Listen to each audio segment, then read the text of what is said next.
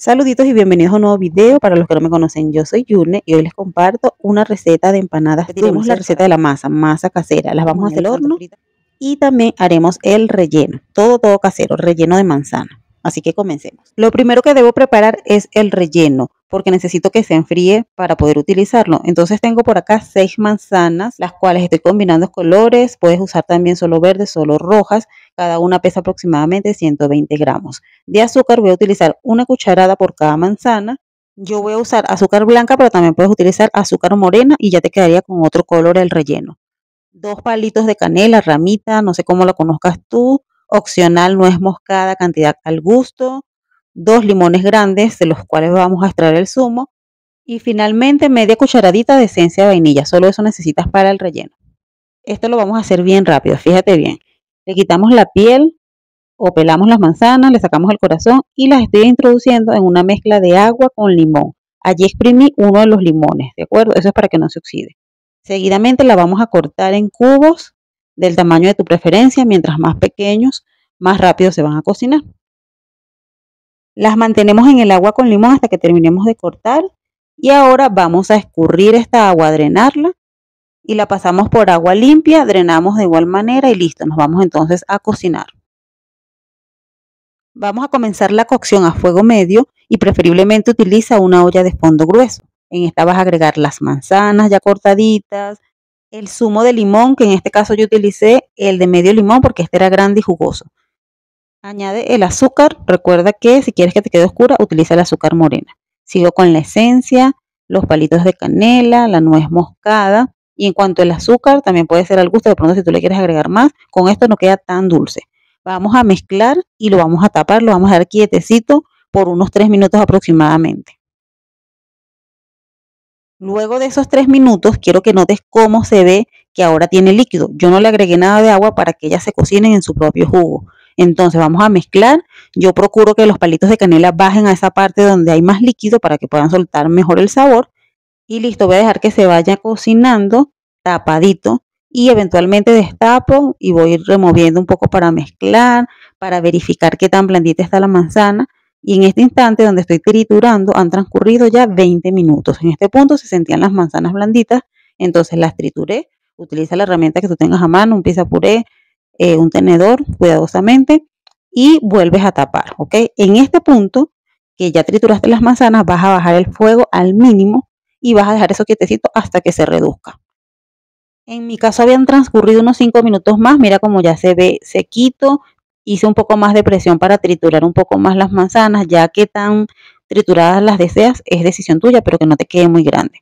Y ya, si está listo, yo lo voy a pasar a otro recipiente, para dejar que se enfríe. Yo lo utilicé al siguiente día, no lo utilicé el mismo día.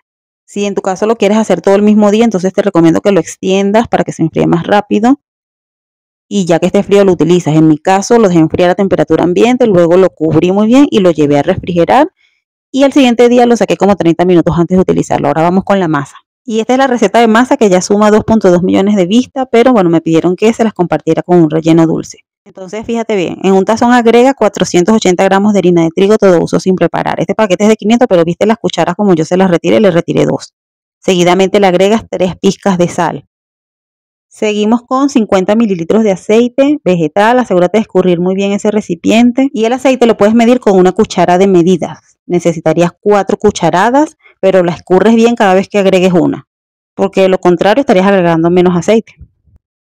Vas a mezclar con la ayuda de una paleta de manera que la harina absorba el aceite y asegúrate también de retirar esto que se queda pegado por aquí a la paleta.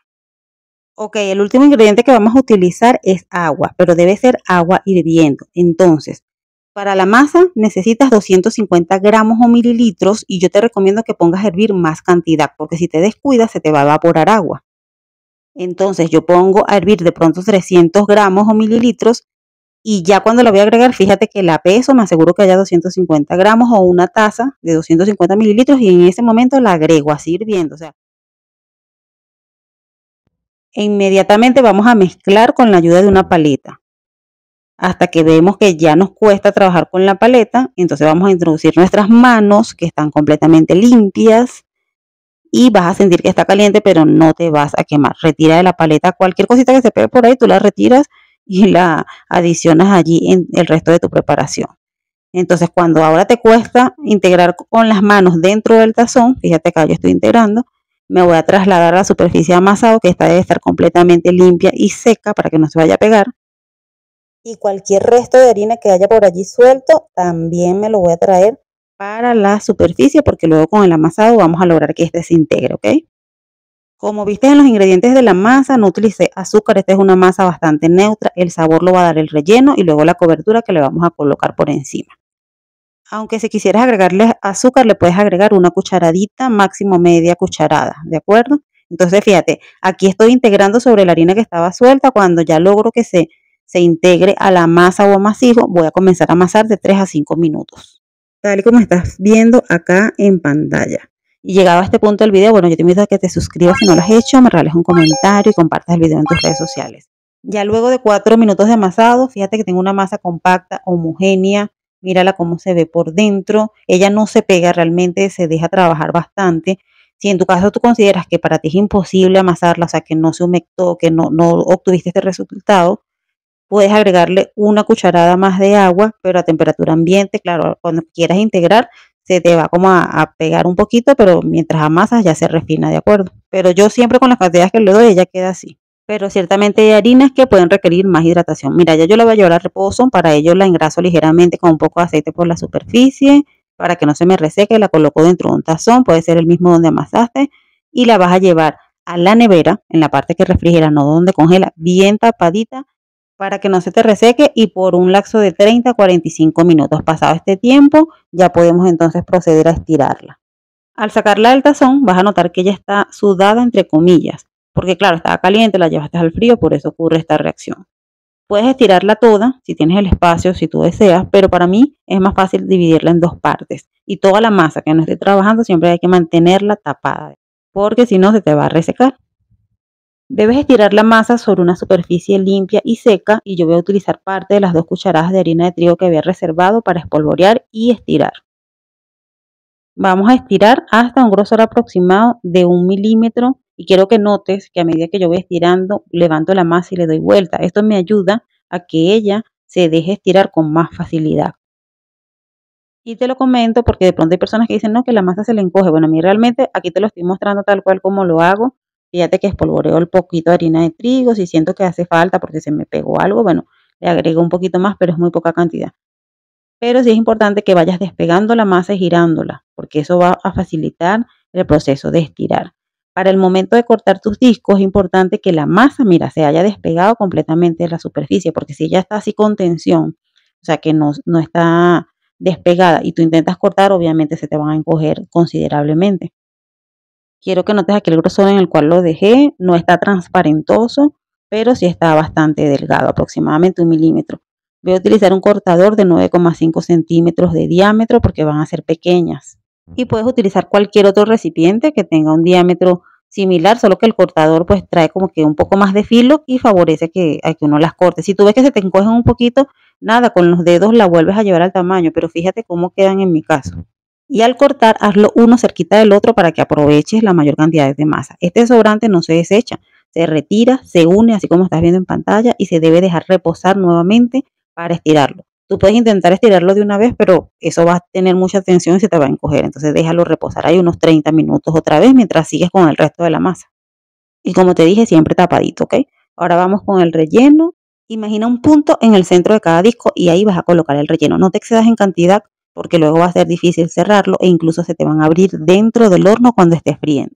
Ya que colocas el relleno, humedece ligeramente el borde de cada disco con un poco de agua para que pueda cerrar y ya lo que, bueno, vas a doblar allí la tapita y unirla con el otro extremo. Puedes eh, estirar un poquito, hay Para llegar.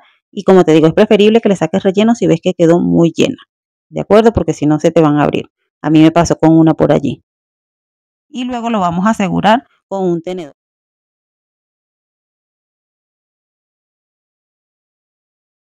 Las voy a colocar sobre una bandeja que está engrasada. Puedes utilizar papel para horno también.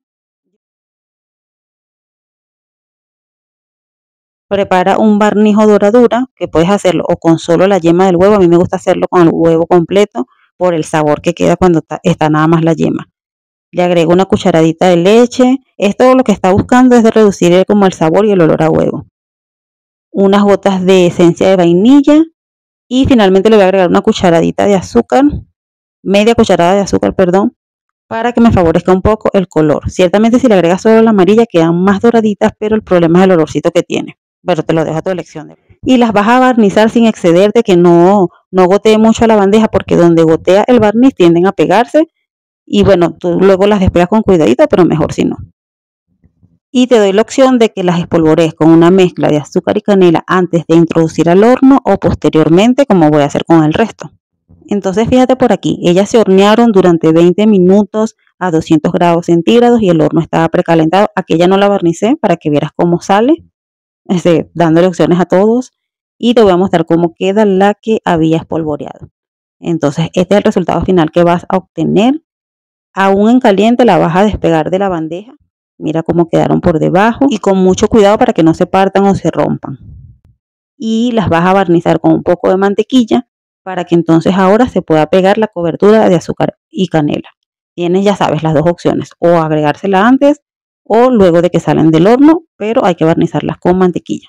En cuanto al tiempo del horno, recuerda que cada horno es un mundo, ya a los 18 minutos puedes echarle un ojito, las vas a ver por debajo, revisar por debajo que ellas se vean como doraditas o por el borde. En cuanto a la canela y el azúcar, yo utilicé una proporción de 12 cucharadas de azúcar por una de canela, pero te recomiendo que pruebes primero con media cucharada de canela y ya tú ves si, si lo sientes bien, porque si queda picosa o algo, ¿entiendes?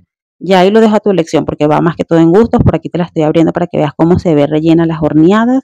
Súper ricas de verdad. Fíjate, la masa te va a rendir para aproximadamente unas 40 unidades porque claro, también va a depender de que tú dejes el grosor como yo lo dejé. Aproximadamente pesaba 16 gramos cada disco de masa, eh, sin el relleno. Y mientras te voy mostrando por acá y probando, te cuento que el relleno si no me rindió para todas. Tendrías que hacer aproximadamente el doble de la receta de relleno para que te rinda para toda esta masa o agregarle menos cantidad, pero yo considero que la cantidad que agregué estaba bien y ojalá te estuvieras aquí para que las probaras, para que veas lo ricas que quedan.